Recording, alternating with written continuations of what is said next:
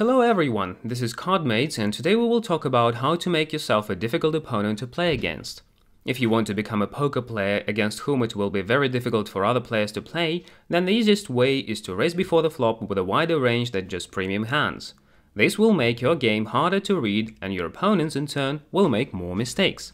In general, you win in poker because your opponents play poorly. If your opponents find it difficult to put you on a range of hands, they will play wars against you compared to those who play straightforwardly. I do not suggest you start bluffing at every opportunity, but rather I suggest expanding your strategy, opening up with a wider range of hands so that you can give yourself additional chances of winning the pots. Open raise from early position. Many beginners raise only with premium hands from early position when other players fold to them. Instead of raising only with the best hands, I suggest you add some weaker hands to confuse your opponents and provide the best board coverage, that is, more flops can potentially connect to your range. Know that with the above tight raising range from early position, it is difficult to make nuts on flops containing medium or low cards. You should have at least some potential to make the nuts on the flop, or a hand that can be aggressively played post-flop, such as straight draw or flush draw, which your opponent will not expect. You should not make it easier for your opponent and allow him to turn all your potential hands into bluff catcher by simply raising the flop. Instead of raising them from an early position with a tight range, make a raise with a range that is shown in this image when everyone folds in front of you. This range contains a lot more suited hands, including middle suited connectors and a few more pocket pairs. Adding these hands to your range gives you the opportunity to make the nuts on different flops. Know that if you raise only with high card hands, it's impossible to collect the nuts when the flop comes with medium or low cards. This wider range is called a better board coverage. Open raise from middle position. Here is my loose raising range from the middle position when everyone folded in front of me. From middle position, you should start adding suited aces to your raising range, because they will give you the opportunity to make more nut flushes and sometimes you will stuck your opponent with a worse flush. You should also add some more hands with high cards. Know that this loose range does not contain weak high cards and medium cards, such as a7 offsuit, king 10 offsuit, and jack 8 suited. These hands almost always need to be folded from middle position, for example, queen 10 offsuit is extremely unprofitable to play from these positions, because there is a possibility that you will find yourself under domination when you're called. If you look closely, you will notice that many other tight players raise with such hands from most positions because they think that all hands that contain two high cards must be good. It's important that you distribute hands properly during the game when expanding ranges. Usually you should add to your range hands that connect well with the flop not hands that form a top pair or middle pair with a marginal kicker. Open raise from cutoff position. Here is my loose raising range from the cutoff position, the place to the right of the button, when all players folded in front of me. When approaching the button, you can start raising with many worse hands. This is because few people will have a premium hands and there are fewer possible opponents who will want to exploit you. For example, when you raise from the hijack position, the place to the right of the cutoff, cutoff and button can re-raise you, make a so-called 3-bet, putting you in a difficult position. From the low jack position, placed to the right of the hijack, you should also worry about the hijack. As your position improves, you can raise with a wider range.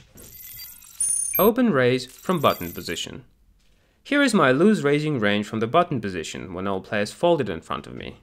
This may seem like an overly wide opening range, but is justified because you will often win the pot right away as soon as both blinds fold their hands. When one of the blind calls you a preflop raise, you will often win the pot with a c-bet, when the caller cannot improve his hand on the flop, regardless of whether you have improved your hand or not. Raise sizing. I strongly recommend that you raise the same sizing with all your hands, regardless of their preflop power. Although I understand that many beginners make big raises with only some hands because they are afraid that they will be beaten, and this is a terrible mistake. These large protective raises in fact reveal the strength of the hearts to all the opponents and show them that you have the hand that needs protection. Instead, make a raise of the same sizing with all your hands to hide the power of the hand. There are two main points when you have to adjust the size of your preflop raise. The first point, if the stack size decreases, you should raise a smaller size on preflop. Roughly speaking, with a stack of 100 big blinds, you have to raise 3 big blinds. With a stack of 50 big blinds, you have to raise 2.5 big blinds. With a shorter stack, you must raise 2 or 2 and a quarter big blinds. The second point, if the players on the blinds belong to world-class players, then you usually have to raise a little more than usual, perhaps half the blind more than you usually raise. This is because you do not mind if these players fold their cards. Of course, opening with a wider range of hands in the hope that your opponents either fold pre-flop or fold to c-bet post-flop only works when you open with a raise. If you limp, just call the big blind. Other players will limp as well, and you will lose the advantage of being the aggressor. Thoughts about loose pre-flop range. It's worth noting that on average in the long run you will win or lose a certain amount of money with each hand. Your task is to figure out how to play the maximum possible number of hands in a profitable way. Know that if you expect to break even with this hand in the long run, then it's quite reasonable to play this hand, even if it drastically increases your variance. By adding break-even hands to your range, you'll see more loose and aggressive, giving yourself the opportunity to win a little more often when you're lucky enough to get a premium hand. By playing break-even hands, you make your premium hands more profitable. It's important to understand that the above-mentioned loose preflop ranges must be significantly tightened under various circumstances. It would be a huge mistake to just print the charts and blindly follow them. You can see that I mentioned above only the middle position range and not the UTG plus 2, UTG plus 3, plus 4, low jack and high jack ranges. This is due to the fact that the ranges for these positions should differ significantly, based on your assessment of the trends of players who have yet to act. You must pay attention and find out how your opponents will react to your aggression if you want to win as much money as possible. You need to make your range loser when you're in late position. When approaching the button, you must raise with a wider range. The players who have yet to act, in particular button, small and big blinds, are tight. Recently, you were too tight. If opponents expect you to be a tight player, you should be inclined to raise with a wider range, especially with hands containing a blocker. Raise with a blocker. A blocker is a card that reduces the likelihood that your opponents have a premium hand. On pre-flop, aces and kings are the best blockers. Know that if you have ace deuce, then the probability that each player who has yet to act has a pair of aces decreases by 50%, and the likelihood that they have ace king or ace queen is reduced by 25%, compared with a situation where you don't have an ace. This is because the presence of an ace in the hand indicates that there is one ace less among the remaining cards, and the likelihood that another player has an ace decreases by 25%. Please note that the concept of blockers also applies on postflop. For example, when you have a pair of nines and the board is Jack 8 7 2 3. With a pair of nines in hand, you realize that the likelihood that your opponent has a nut straight with 10 9 decreases significantly. Example Everyone falls to you, you're in the hijack position with ace of clubs and nine of spades, blinds 50, 100, ante 15. You decide to make a standard raise of 2.5 big blinds, that is 250 chips. If someone who has yet to act makes a 3-bet, re-raise, you can safely fold, believing that your opponents play fair and straightforward. If only one player calls your preflop raise, you can c-bet about 3 big blinds, about 50% of the pot size, on the flop giving yourself the chance to win the pot if your opponent doesn't improve his hand.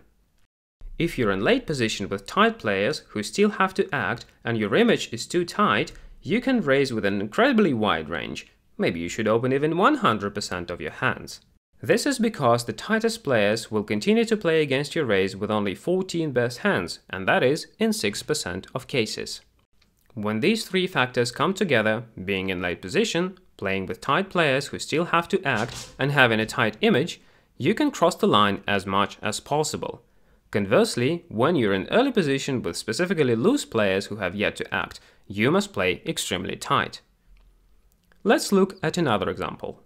Everyone folds in front of you, you're with a stack of 59 big blinds on the button with 7-4 offsuit. It's known that both players in the blinds play a moderately tight strategy. This is a great spot to make a raise of 2.4 big blind. If any of the blinds decides to 3-bet, you can safely fold. If one of them calls, you can safely play post-flop. If you choose the right spots, you will find that you steal the pot most of the time pre-flop with a relatively small risk. Although stealing the blinds may not seem like a big victory, but if you steal more blinds than your opponents, your stack will constantly grow, while your tied opponent's stacks will constantly decrease, because they are awaiting premium hands. Example. Blinds 200 400, ante 40. You have a king jack offsuit and you're in second position. The player in the first position folds. Although the king jack offsuit as a rule is a good hand, here you need to fold. There's a high probability that someone who has yet to act has one of the playable hands, most of which dominate you. By raising, you either steal the blinds or you will be forced to play with a marginal hand, usually without opposition. Despite the fact that the fold may seem to be a tight decision, this will be the right choice. From early position, you have to cross the line much less often. Well, that's all. I hope you understand everything. If you have any questions, ask in the comments. Did you like the video? Then I expect likes and subscriptions from you. See you soon and good luck at the tables, guys!